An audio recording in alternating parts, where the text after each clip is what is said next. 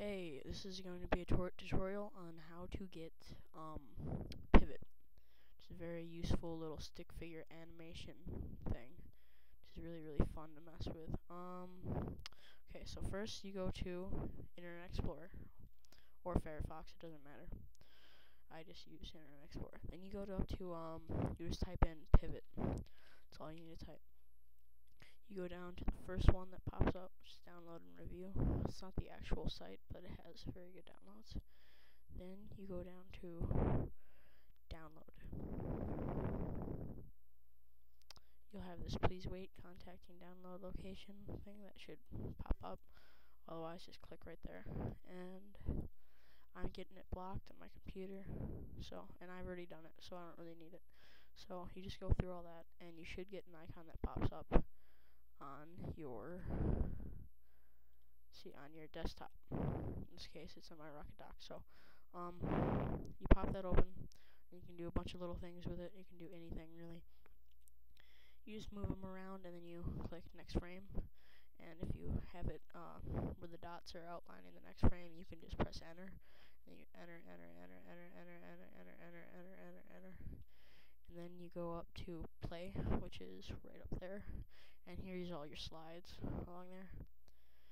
Click play, and he'll do it. He'll do whatever you made him do.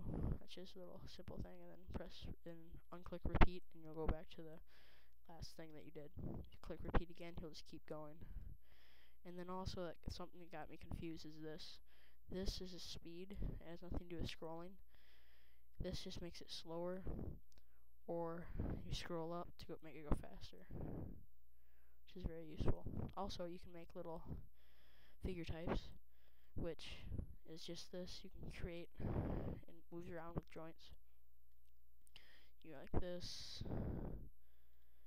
go like this. Just add on random things, and you get that.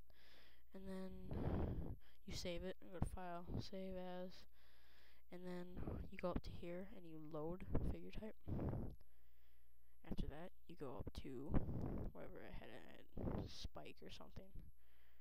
And then you go over the side and this will pop up. And you can add figure. You have to stop this first and then you just add figure. And you go over here and it is there. And I accidentally did two, but that's good. Here. And then also, you go to the side, you have a toolbar type of thing, and um, you can center it, you can flip it make it, go back and forth, and then also you can delete it, or you can give it color, which is very useful. To make it orange, press OK, go down, you got orange. This also changes the size, go up or down, and front and back is very useful, because if it's in front of here, and I click front, then it's in front. I click back, then this is very is in front of it, not this is in the back of the animation. So that's all you can really do with that, and it's just really simple. You can get into other ones, which is like pencil and all that. You download all that stuff, but oh well. Hope you have fun with this, and remember subscribe if you like these videos. I have more how-to videos. Bye.